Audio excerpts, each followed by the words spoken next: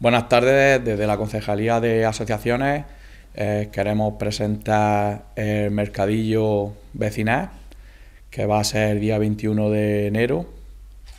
Ha sido una idea de la Asociación de Vecinos del Barrio de los Dolores, en, el, en el cual tenemos aquí a César Portillo, presidente de la Asociación del Barrio qué mejor que, él para, para que nos dé todos los detalles de, este próximo evento. Vamos a explicar lo que, en qué consiste el mercadillo vecinal. Eh, bueno, es dar una segunda oportunidad a todo eso que tenemos eh, en, el trastero, darle un segundo hogar eh, que sí le puede dar uso esas personas. nuestra, vamos, es la idea que tenemos la asociación. ¿Dónde será? Pues en la explanada, ahí en el barrio de Los Dolores, el día 21 de 10 a 2.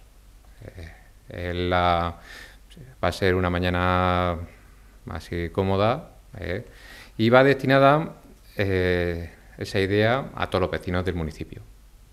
y aparte, si hay alguna asociación que quiera también participar, es importante que las personas no ejerzan una actividad económica y profesional y que, eh, que no sean eh, para fines eh, comerciales, que sean para uso personal o para la, propia asociación.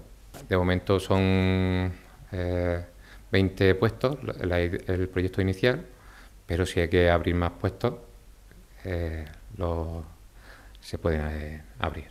En el mercadillo no se va a permitir ni la venta de, alimentos ni la venta de animales. La inscripción eh, se, hace en el estudio eh, Fotivídeo César Portillo. ¿eh? Hay un enlace en la página web de asociaciones del barrio de los Dolores ¿eh? que se pueden descargar el PDF, lo rellenan y me lo traen.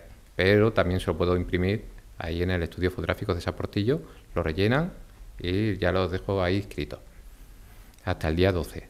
También vamos a colaborar con un poco mucho eh, para hacer una eh, recogida de alimentos, eh, para hacer un apoyo en estos tiempos que, que corren, que todos tenemos que ayudarnos unos con otros.